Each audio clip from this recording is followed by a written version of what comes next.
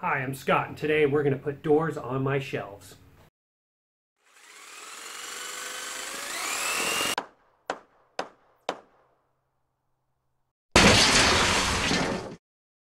All right, so I'm going to make uh, four doors for up there. I need three that are 89 by 24 and one that's 89 by 20 and a half.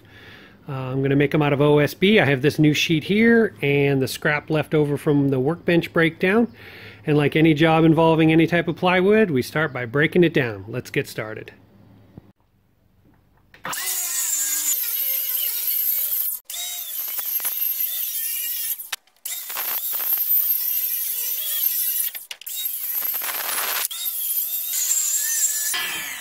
Okay, got all that wood cut down uh, with the help of my new Kreg Rip Fence Guide. That made things a lot easier. Uh, there'll be a link down below for that if you're interested in picking one of those up for yourself. All right, so I'm going to put the hinges in now. I got these right here from uh, Home Depot.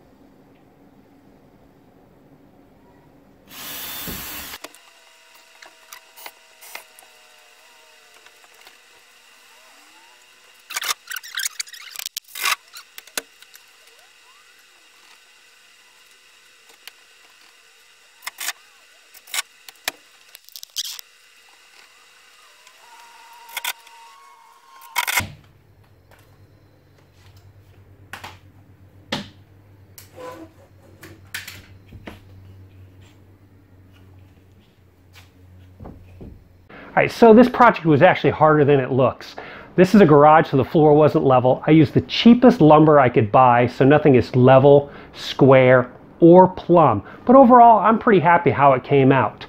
I've posted different videos about how I'm upgrading my shop. And don't forget to like, comment, and subscribe down here and ring that bell for notifications. Thanks for watching.